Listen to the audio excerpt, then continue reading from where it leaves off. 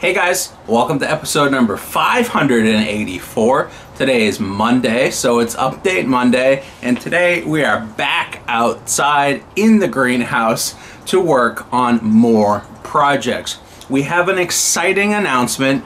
We are tearing down the fish room, and all of the fish are moving out here to the greenhouse for the summer while I completely renovate the fish room. But before we can get to that, we need to eliminate the green water from the outdoor system here, and we need to get a lot of our plants situated for the summer. So, we've got a lot to cover in this week's video. But before we get started, make sure to hit the subscribe button if you haven't already. And if you want to help support this channel, you can always go check out myaquariumbox.com and bettaoasis.com. All right, guys, the sun is setting already. We've got some stuff to look at outside. We've got some stuff to look at inside the greenhouse. So let's get going. So come along with me and learn how to be a better aquarist. All right, guys, we're gonna start with a couple of the outdoor projects out here by the Thousand Gallon Pond. Now, if you are in the market for a fish room, specifically my fish room, all of the 40 gallon breeder tanks and the rack is currently for sale for the bargain basement price of $600. All you have to do is come here with a truck or a trailer and pick it all up. Once that's out of the way, I will be able to install my new 50 gallon Zoomed Lowboy rack and tank system. I'm really excited to start on that. We just need to clear out some space in the basement so that we can do that. But before we get there, we need to move all of our fish outdoors. And before we can do that, we've got to solve the green water algae problem that we're having out here in the pond. Now, this is not getting any better with water changes. Uh, this is something that just needs to be fixed with this diatomaceous earth filter. And that is over here and ready to go. I've dug out my piping that goes from the pond into the greenhouse. So that's ready to go. And I've even picked up all of the parts and made a quick diagram here of this filter showing exactly how it works. And here's how it works. What we're gonna do is take this black line that comes from our pump and put it into the bottom here. Water's gonna raise up through here and then what will happen is the water will come out up here and then the black line is going to continue from up here back down through the ground here and then reconnect to the fish system. So we're just adding this um, canister filter, basically, diatomaceous earth filter, to the line that already exists. Now, there's two other outlets that exist on this filter. The one on the bottom here is the drain line and that's gonna have a ball valve on it over here in case I ever want to completely drain this filter shut the power off and just open the ball valve I can completely drain it and then the other thing that we have here is our bump handle which is up here and that's going to act as a bypass to send our water out uh, of this system in the event that this starts to get clogged up so we've got our pressure gauge here whenever those fingers inside this filter are getting plugged up, we'll be able to uh, just crank on this and um, loosen it up. Loosen up all of the sediment, loosen up all of the junk that's inside it, and send that out the bypass out over into the shrubs. So, all of our parts are here. Our hole is dug. We've got our plan. All that we have to do now is hook it up. So this is a, the biggest project I have for this week is to just get all the plumbing hooked up. Now, we've also got to say hello to a special friend out here. This is Marvin. we picked up Marvin a number of years ago and uh, he's been chilling out in our backyard for I'd say a solid five years and he's come to explore the pond So he's gonna be hanging out here by the filter, watching over the pond all summer long. All right, we've got a number of plants to look at inside the greenhouse. Some of those have been planted in soil and I'm now ready to bring those outdoors and plant those outdoors so we can move all of the soil out of the greenhouse. So let's get working on that project now. Okay, check this out. We haven't checked in on these vegetables in probably a few weeks and as you can see, we have some tremendous growth. Uh, so much so that I would say that all of these have outgrown the uh, starter pots that they're in currently. So we've got a bunch of zucchinis here. We've got a bunch of cherry tomatoes back here. This entire tray is summer squash here. And then we have a lot of string beans back here and some more uh, tomato plants sort of poking out uh, back behind there. So all of these are coming out of the greenhouse today and they're moving outdoors into some fabric pots.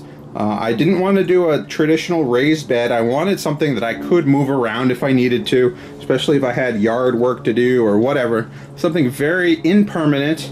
Um, and so I chose fabric pots. So what we're going to do is probably give these guys one last water in here and then we're gonna go fill up those pots and then transplant these guys outdoors.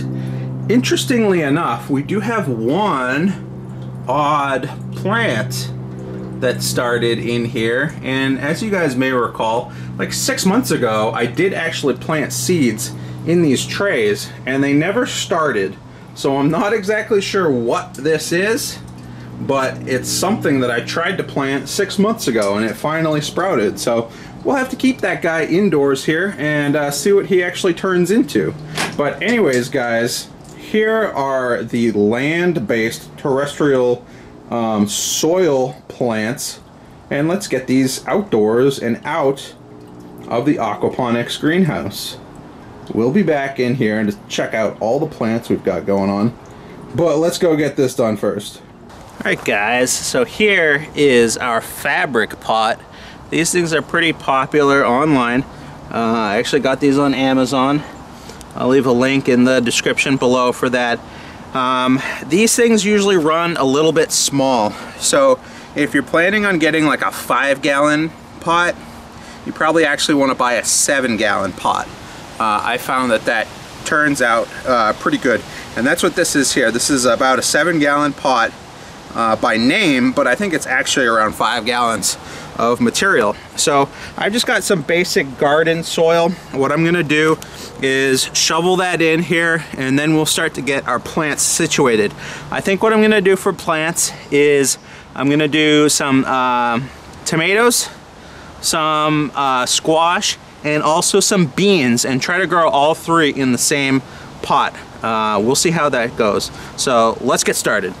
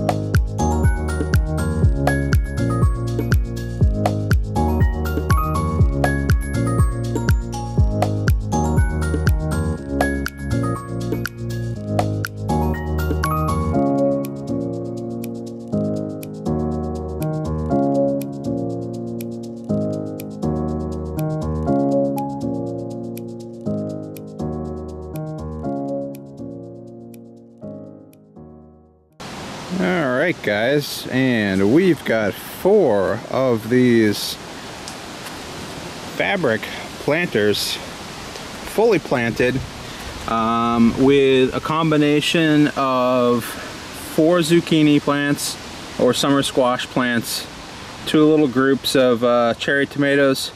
I probably have to cut these back so it's only one or two. And then we got one or two uh, bean plants in the middle. And this is something I'm gonna have to uh, run either a stake or a vine um, pole for, like a bean pole, so that they don't just fall over. But hopefully they survive the night and I can continue to work on these guys tomorrow. We also have a woodchuck underneath the shed, so hopefully all of this hard work doesn't just become woodchuck food tomorrow morning. So hopefully all of these plants will be here tomorrow. One other thing which is kind of interesting is this uh, watering stake. It's a plastic watering stake. Essentially, it just screws onto a bottle and then it's got a little drip nozzle that you can adjust the flow of. And then you just stick that down into uh, your soil, especially if it's gonna be a hot day, just to keep your soil moist. Uh, I read that these fabric planter pots dry up really fast because they've got so much surface area that's exposed to the sun and to the wind. And so hopefully using these will help to keep the soil a little bit more moist. But actually the reason they caught my eye in the first place is because it seems kind of like something you could use in an aquarium. And so uh, I might use this for live feeding things like brine shrimp and just slowly dripping them into tanks to feed fish over time so multi-purpose little thing here and we'll see how we end up using it. Alright guys, I know what you might be thinking. Greg, this is a fish channel. Why are you planting so many vegetables? This isn't a gardening channel. Well, hopefully a lot of these vegetables are going to end up as food for my fish. I've got a 40 gallon breeder full of plecos and I'm feeding them either a full can of green beans every single day or an entire zucchini, cucumber, or summer squash every single day. So if I can manage to grow a lot of those either in this greenhouse or outside, that's going to cut down on the food bill for the fish. So hopefully that's what ends up happening. Alright, we're back in the greenhouse. It's getting dark outside. We've got to spend the rest of this video in the greenhouse. I've got a few things to show you, the first of which is some roots that I took out of the ground a year ago when I started to dig the foundation for this greenhouse. Where we're standing right now was basically mature shrubs. It was uh, a combination of rhododendrons and azalea plants. And I'm not exactly sure which roots belong to which species of uh, tree or shrub, but we've got some of those that we saved when we pulled all of that out of the ground to make space for this greenhouse. I want to take a look at what those look like and see if those might be something we can use as driftwood in our aquariums. If you guys didn't know, azalea is actually a plant that people use in aquariums and it's more commonly known as spiderwood. It's actually the Chinese azalea plant, I believe. Very common in China, hard to get your hands on in the United States, but there's plenty of native azalea type plants in the US. They're all over the place, in everyone's yard basically. So we saved some of those plants by transplanting them, but we did end up killing a few of those as we cleared the ground for this space. So let's take a look at what some of those roots look like and see if we can use them. All right, check these things out. Some of these are currently um, wet because they were actually in the pond. I was finding that frogs uh, and other little critters were jumping into the pond and having a tough time getting out. So I ended up tossing a few of these in the pond just to give them a place to grab a hold of and uh, get themselves out of the pond. Now you can see this is a pretty big root structure here and the plant itself was chopped off a year ago and what's left are all of these intricate really beautiful roots. And I literally pulled this out of the ground and then knocked all of the dirt off of it and then tossed it in a pile uh, all winter long. So it's been drying out. It's only wet because I tossed it in the pond. But I think it's got some character. I think some of the small rootlets may end up falling off and might not make uh, a long-term good piece of driftwood. But that's one of them there. We got uh, a smaller piece here, which is kind of cool. We've got like a flowy piece here that goes all off in one direction, which is kind of cool. We got a similar one here. And then we've got a gigantic one. Look how big that stump is. A gigantic one here. So I think at least one or two of these might be worth saving and transforming into a piece of driftwood.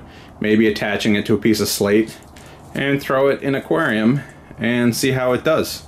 Again, I'm not exactly sure which species these came from, but um, I know that the roots of a lot of these plants are a lot more dense than the branches are, so they're going to hold up quite a bit longer underwater, uh, and they are pretty good choice for driftwood. Anyways, guys, that's the pile of roots. Let's move on to the next thing. All right, and now for a walkthrough of the greenhouse. You may notice it's nice and quiet in here. I just turned the pump off for the video. I'll turn it back on after we leave. But as you can see, we've got quite a bit of stuff going on here. A little bit less now that we've taken all of those soil plants out of here. But let's start over here. We do have all of these string beans, which are growing nice and tall. I purposely put these against the side wall here so that I could run uh, string up the side wall to allow them to sort of train up the wall of the greenhouse. And all of the sun comes from this direction. So these are not going to block any of the sun to any of the other plants in the greenhouse. We do have a number of pots, net pots that are still empty. I think what I'm actually going to do is uh, replant some lettuce seeds. These lettuce plants never really bounce back after they sort of got too long and leggy. Uh, they all sort of fell over and even though they've got a constant supply of water here in these uh, rockwool cubes in the net pots, they've never bounced back. They never sort of stood up on their own.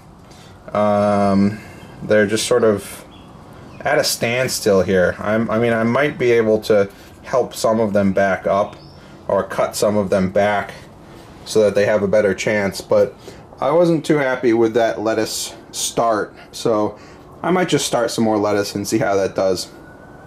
We've got our rosemary, still very, very small. Again, not really growing a whole lot here. And then next to it, we've got our hot peppers which have grown a little bit. I think they've doubled in size since we last looked at them. But again, they're not growing too, too fast. Um, one of the things that I knew when I built this greenhouse is that it didn't get direct sunlight for many hours of the day. So we're going to grow things in here, but it's not going to grow super fast. Um, the advantage of that is that it doesn't get super hot in here either because we do have some shade. So pros and cons, we'll see how well we uh, end up doing here with growing plants. And if it doesn't work out, maybe we just grow more fish instead. Um, over here we've got some cilantro, which is doing pretty good. This row is cilantro as well. We got plenty of uh, nice new growth and leaves growing in the cilantro. Again, over here we got some more lettuce, which is sort of not standing up. But, oh well. Tried at least, right? Uh, we've got a lot of cherry tomatoes here. They're growing, they're just not growing fast. We got more lettuce, a whole tray of lettuce that's just very, very sad. There's almost nothing here that I think is worth saving. So, we'll give it another week or two, and what we'll probably do is start some more lettuce over there. and then we may actually replace all of these pots, um, throw them out if they don't grow at all. We're also going to have to at some point uh, separate some of these plants if they ever do start to take off and we ever do get a week that's not just cloudy and rain. Uh, if the sun ever does come out, hopefully these will start to take off and grow. But we do have some more uh, cherry tomatoes over here. Those are the three tanks here that have our rafts for our aquaponics plants. And then over here we move into more of our aquatic stuff, but we also have some other things to look at here, namely some bonsai plants. You might have seen a recent video that I did about creating a bonsai. This is the first one that I made. Actually, no, this is the first one that I made. And then this is the second one that I made here. And the third one over here. And then the fourth one that I recently did on a live stream with River Life, Rack Cross, is uh, this one here. And I think they all turned out pretty well. Uh, I'm eventually going to move these outdoors. We'll talk about that in a future episode, but for now, they're sitting in the greenhouse. And our little Mr. Sweet Potato Head plant here that everyone wanted to see grow we do have a lot of growth here with roots, but I've been growing this for, I don't know, a month and a half, and I don't see any slips. I don't see any growth out the top of this plant at all. So I'm about ready to give up on this guy. Um, just taking up space, but who knows? If I see something poking out the top, maybe we'll keep him around. Our dwarf banana plant from H2O Plants is doing very well. Uh, we've got a few smaller plants underneath here. We've got the one large plant here, and I would say we've gotten probably twice as many leaves on this plant just in the last month or two that we moved it out to the greenhouse. A lot of new growth and uh, very healthy growth as well. Um, I think a lot of that is due to the fact that I repotted this and it seems to be doing a lot better in the larger pot. However, now that it's growing and there are multiple plants in there, I may need to repot it again and maybe split it up to take some of the smaller plants out of there. So we'll see about that. Now, we have a number of floating plants to talk about. We've got some water hyacinth here. We just got a few of them. I think we've got four or five of them. We've got the frog bit that we got at a recent auction, which I was super excited to get. And we've got some um, duckweed and dwarf water lettuce and other things mixed into all of the floating mat that's back there as well. This stuff is done all right. I wouldn't say it's uh, exploding at this point, but again, a lot of this stuff just isn't getting enough light yet. So hopefully, if the uh, rain ever stops, we'll get some growth out of this. This is the plant that I love, sensitive plant. Uh, I'm super happy that I, I was able to pick up a few pieces of this uh, at Uncle Ned's Fish Factory recently. And what I did was I went ahead and put it in this floating uh, basket. And then I anchored that basket to the sidewall here so that it wouldn't float all around and disturb the plant. Um, and as you can see, it's sort of in its curled up version, the sensitive plant, but um, when the sun comes back out, it will unfurl and those leaves will be nice and big once again. We got some more water hyacinth. We got some more dwarf water lettuce. Um, in these tubs, also, you'll see we moved our mystery snails. So we've got the larger um, brown or chestnut versions here. We've also got some smaller golden mystery snails that we picked up at Uncle Ned's while we were there picking up uh, the pond plants. So I've moved a lot of those out here. Hopefully they will do well and grow and hopefully reproduce. Hopefully we get some egg clutches out of those snails at some point and we'll see how they do. That's about it for out here. Just a lot of green water. These are the three tubs I'm going to move the majority of my fish out to uh, once I get that filter installed. But anyways, guys, that is a look at the progress of all of the plants out here in the greenhouse.